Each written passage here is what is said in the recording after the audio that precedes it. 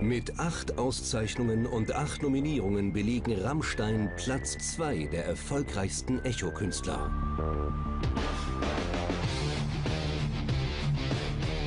Es gibt Rock, Pop, Metal und es gibt Rammstein.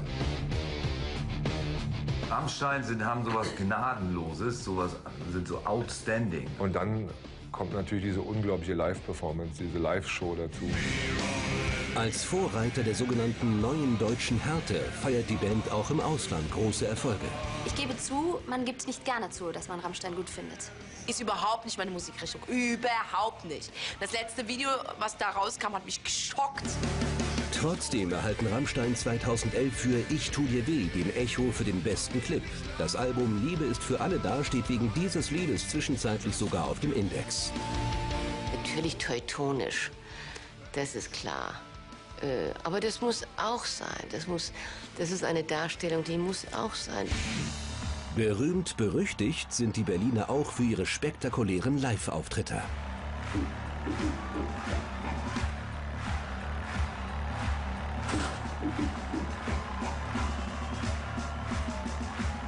Sie haben eine Wahnsinnsshow, äh, denken Sie sich immer aus. Also Sie sind eigentlich wie so eine Rockoper.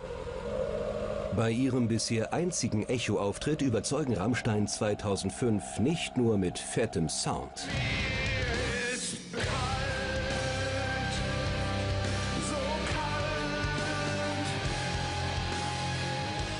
Ich bin ganz nervös im Backstage rumgerannt. Und ich drehe mich so um so und bin so voll im Tempo und renn voll an so einen Typen ran.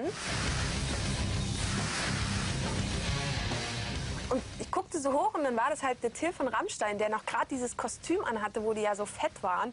Und bin total erschrocken. Und er meinte nur, hey, gehen wir dann später noch an der Bar einen Tequila trinken? Und ich so, äh, äh, okay. Einen besonderen Platz in der Echo-Geschichte haben Rammstein auch als Band mit der